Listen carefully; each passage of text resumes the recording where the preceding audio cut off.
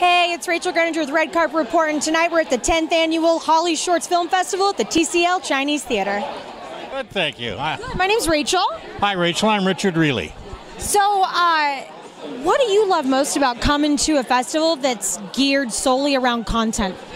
Well, the thing is, is that I get a chance to see the work that people are doing now, and normally you wouldn't get a chance to know who they are.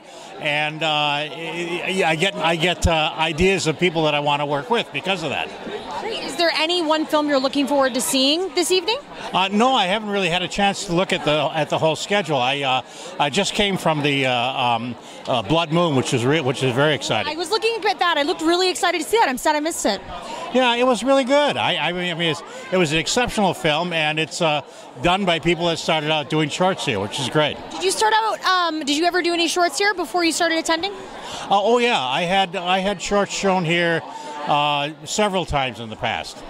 Yeah. Well, congratulations on everything. We look forward to seeing you uh, in new stuff when you find people you want to work with. I'm looking forward to it too. Thank you. Very nice to meet you. Oh, thanks. Thanks for watching, and if you like what you've seen here, hit like, subscribe, and in the comments below, tell me what short film you're really excited to see this year.